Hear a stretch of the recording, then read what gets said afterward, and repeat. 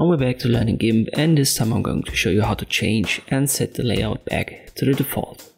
For my tutorials I use the default layout for the most part.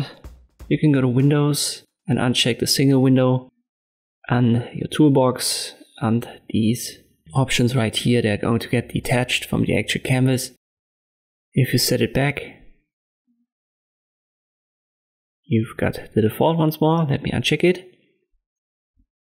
If I put the toolbox right here, the layers are also on the right hand side, and I make it one window again, you can see it now looks different. You can also close these single options right here. For example, let me get rid of this tab.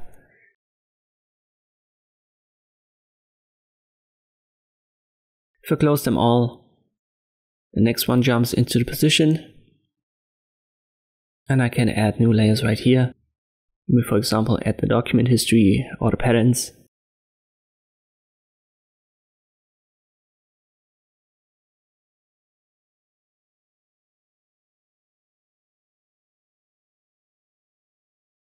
Same goes for the toolbox on the right. So below it we've got our two options right here. Let me close it and I can bring it back by clicking on this icon, then add tab. The two options are the first one, I left click and it's back again.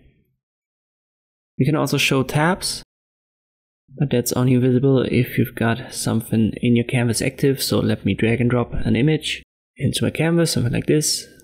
And now if I go to Windows and show the tabs, you can see up here I've got my tab that indicates the projects that I'm working on. In this case, it's just one. Let me close it. Let's just say you've gotten lost and you just want to restore the default layout. Just go to Edit, Preferences, and there you have to find the window management. It's right here on the interface. And here's this button reset saved window positions to default values. Left click on it and confirm it. And you have to close and restart GIMP and then it should be active. So whenever something is missing and you can't find it, it's a good idea to just restore it with this option. So once again, you go to Edit, Preferences, and under window management you'll find the button.